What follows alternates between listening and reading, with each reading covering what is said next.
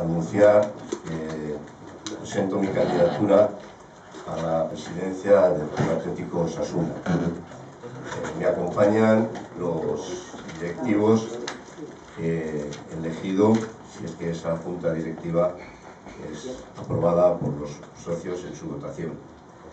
Estará formada por Juan Pascual, al que ya conocéis, que solo tiene 10 años de experiencia en esto de, del Club Atlético Osasuna a José Manuel Purroy, que también cuenta con una gran experiencia de un año menos, de nueve años.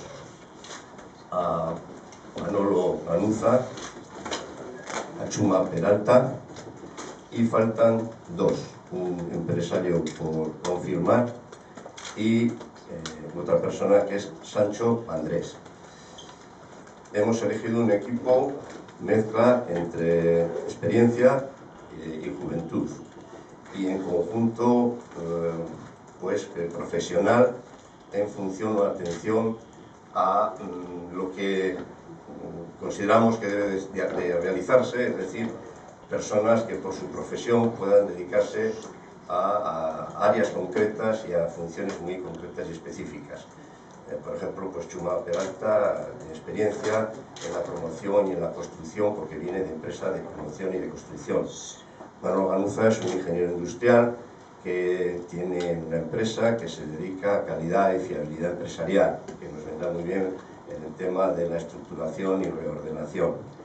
Sancho Vandrés es un economista, auditor de cuentas, es joven, tiene 36 años y es el Benjamín de la Junta y el que yo tengo muchísima confianza.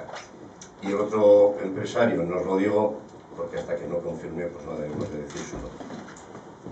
Voy a aprovechar este momento lo más brevemente posible, pero yo soy bastante hablador, para comentaros eh, un poco cuáles son las líneas eh, de nuestro programa, pero a grandes rasgos, ¿no? porque habrá tiempo en su caso de comentarlas con mayor profundidad y detalle.